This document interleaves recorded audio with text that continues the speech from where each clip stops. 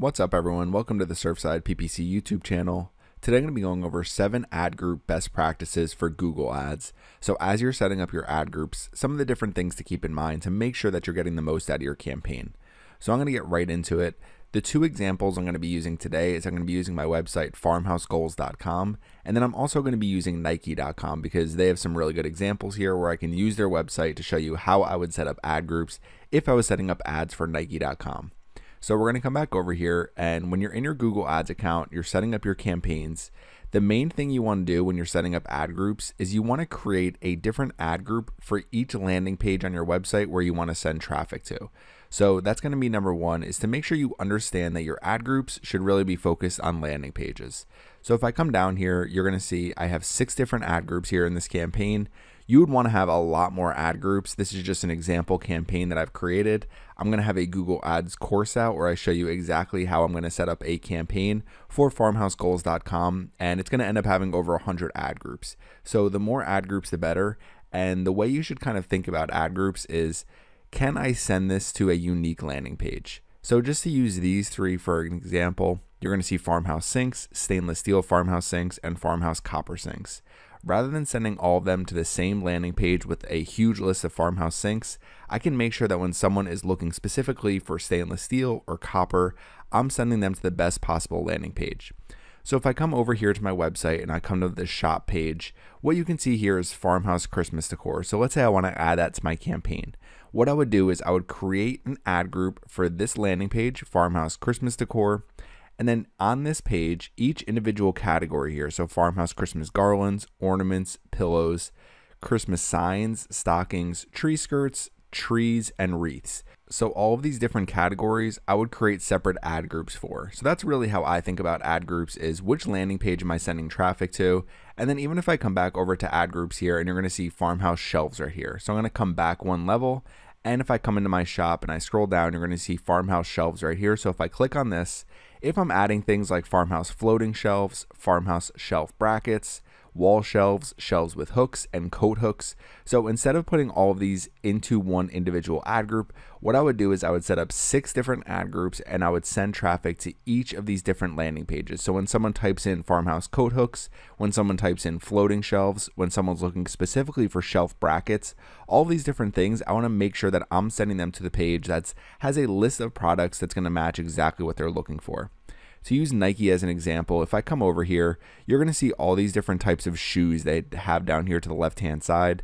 So let's just say, for example, someone is looking for golf shoes, and let's say they're looking for black Nike golf shoes. I would send them directly to this landing page where the color is specifically for black golf shoes, and it's on the Nike website, obviously. Now, let's say on the other hand, someone's looking for white Nike golf shoes, then I can just select white here, and then I want to make sure that I'm sending people to this landing page so that all the products that they're seeing are going to be the white Nike golf shoes. So this is a great way to kind of organize your campaigns and if someone's looking for basketball shoes, running shoes, lifestyle shoes, the different colors that we have here, I would make sure that I'm sending them to those types of landing pages. And the only way to make sure that you're doing that is by setting up different ad groups here. So as you come in here and you create new ad groups, what you would want to do is make sure each individual ad group. So if we come down here, we're going to use a standard ad group.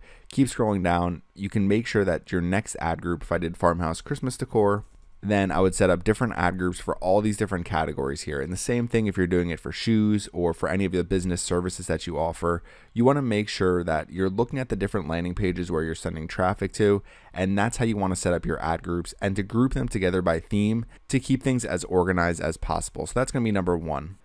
Okay, now number two is going to be a pretty short one, but if I just come over to keywords here for my campaign, what I would recommend is using less keywords in each individual ad group.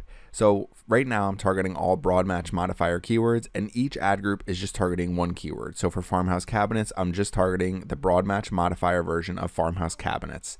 Farmhouse shelves, same exact thing. So if you want to expand your campaign a little bit, I would recommend these broad match modifier keywords. If you want to keep things really targeted and really relevant, I would recommend using exact match keywords. You could also incorporate phrase match keywords as well, but I would just choose one. I think broad match modifier is going to give you a little bit more volume and it's going to match your keywords to a lot of different searches that are going to have the same intent.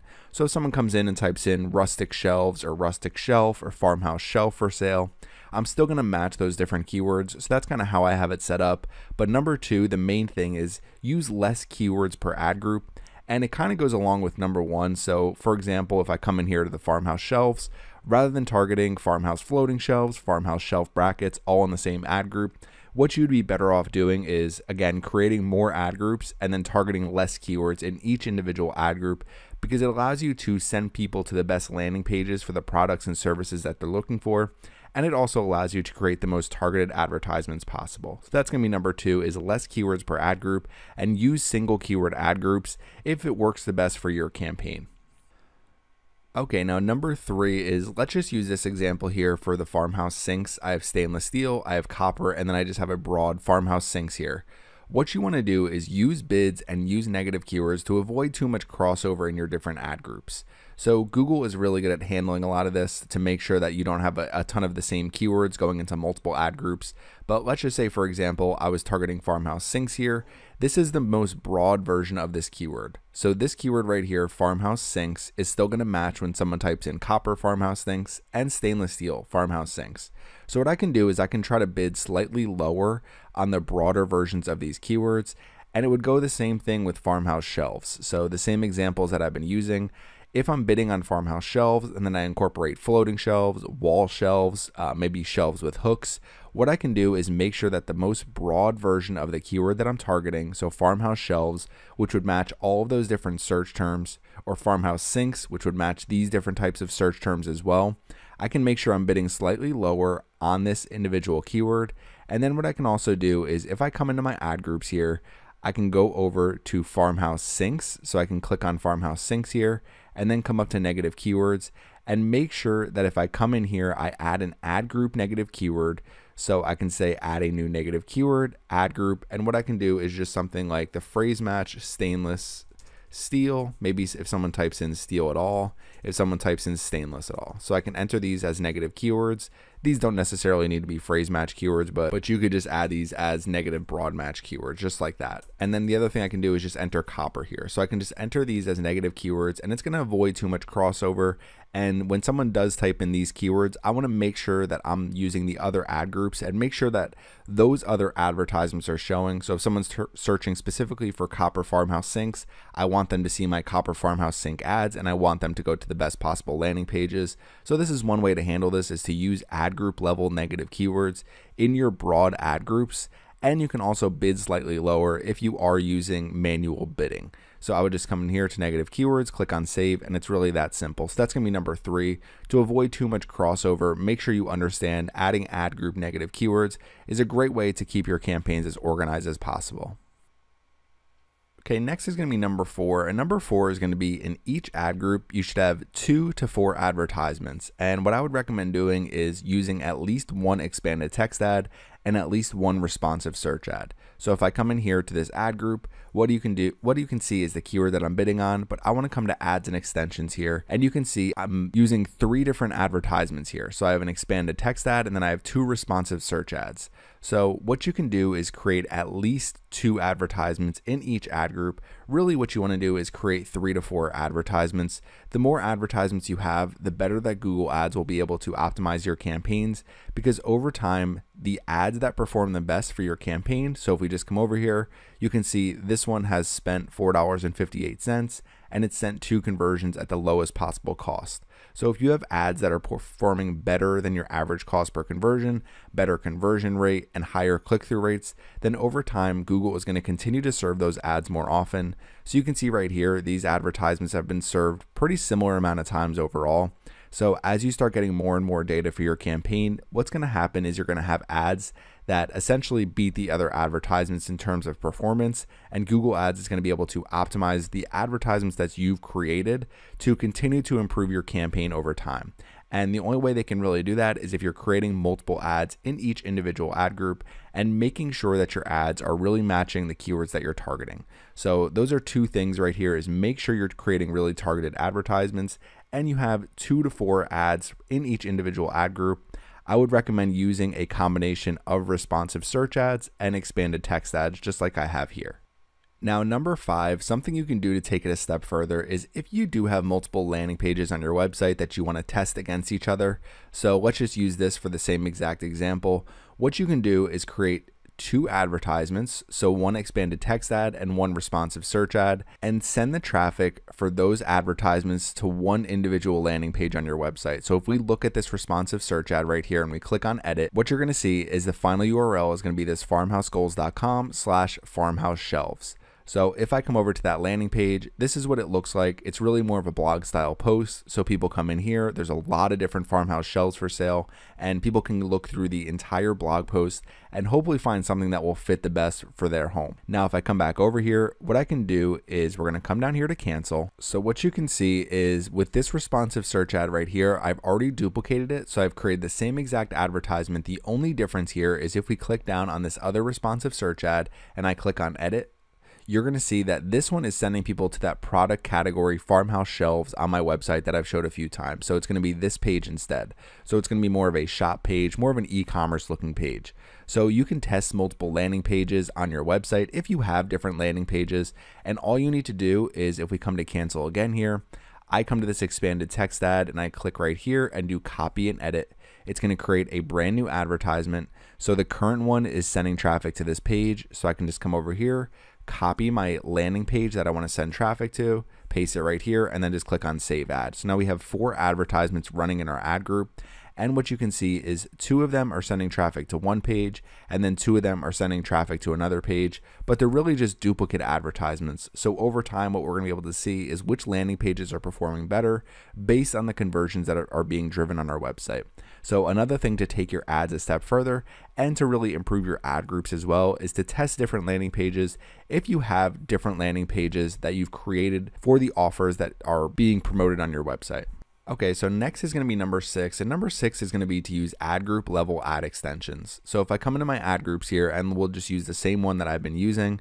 So we click through here on farmhouse shelves. What we can do is if we come to ads and extensions and just come over here to extensions, you can see I have site link extensions that are made specifically for this ad group. So the more you can target your site link extensions for what people are looking for, the better your campaigns are going to perform over time. So if we come back over here to Nike for an example again, let's just say we are using the golf shoes example what we can do with site link extensions. So we come over here to the men's section and you can see shop collection, you can see golf. So let's just say we open golf here. What we can do is make sure we're using site link extensions like golf shoes, golf clothing, golf accessories, and then shop all golf. So rather than creating some really broad site link extensions for our entire campaign, so someone looking for golf shoes probably at that moment is not looking for basketball shoes or even running shoes. They're looking specifically for golf shoes. And then the other things that you want to promote are some of the different different types of golf products that they're also going to be interested in. So hopefully you can get somebody that buys shoes, buys clothing, buys an outfit, buys accessories. So you can promote some of the other things on your website that are going to be highly related to the keywords that you're targeting. So it's the same thing here with the shelves. If I come over to shelves, I can use all these different pages as site link extensions. So then if someone is looking for something specific like farmhouse shelves with hooks, I can make sure that I'm sending them to that landing page and they can see that option when they do see my advertisements. So it's really just going to help with your overall ad relevance, which ultimately helps with your quality score. So that's going to be number six is to use ad group level ad extensions. And if we come over here to extensions and click on create, you can use callout extensions, structured snippet extensions. You can make sure that people are seeing the best possible advertisements based on the keywords that they're targeting. Okay, last but not least is going to be number seven. And number seven is going to be to create less campaigns and create campaigns with more ad groups. So rather than creating 10 different campaigns, each having 10 ad groups, I would recommend trying to create just one campaign with 100 ad groups. So if I come in here to my campaign, the only reason that you would really want to create separate campaigns is if we come over here to settings, locations are set at the campaign level. So if you're targeting different locations, then you do need to set up different campaigns. So for example, if I'm targeting Boston with one campaign, New York City with another campaign, then you are going to have to set up multiple campaigns, especially if you want to make sure that your offers are specific to the locations that you're targeting. The other reason that you would want to create separate campaigns is budgeting. So if you want to set a budget, for example, we come over here to Nike. Let's say Nike only wants to spend a certain amount advertising shoes. then what they can do is they can come in here to shoes and they can set up one campaign specific for shoes and go through all these different shoes here and then create another one for clothing. So if they want to separate it out based on budget, so if they're saying, okay, we want to spend 70% of our budget on shoes and 30% on clothing, then what you would want to do is set up multiple campaigns. However, for the most part, if I'm creating a campaign for farmhousegoals.com, a search campaign, then what I would want to do is just create one campaign and just put all my different ad groups in that campaign because what we can do with bidding over time is use smart bidding to optimize for conversions in this campaign.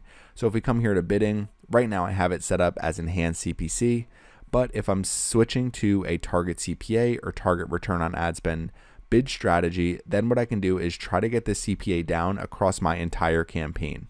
Now you can create portfolio strategies. You can set the same target CPA bidding strategies to multiple campaigns. However, I would recommend trying to keep as much as possible in one campaign unless you do have to split it out due to location targeting or due to your budget for an individual campaign. So these are some ad group best practices, some things to keep in mind as you are setting up your campaigns. Again, I am going to have a free Google Ads course coming out where I'm going to show you exactly how to build a large campaign, some best practices throughout, but this is a great way to understand how to build campaigns and how to make sure your campaigns are as organized as possible.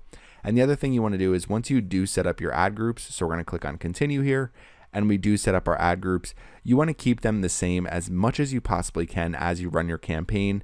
So, unless you're splitting out some keywords into some new ad groups, I would recommend just trying to create as many ad groups as possible when you do set up your campaigns because it's going to help you drive more and more conversions over the course of time. Now, if you have any questions about this, please leave them in the comments section. Thanks for watching my video today, and make sure you subscribe to the Surfside PPC YouTube channel.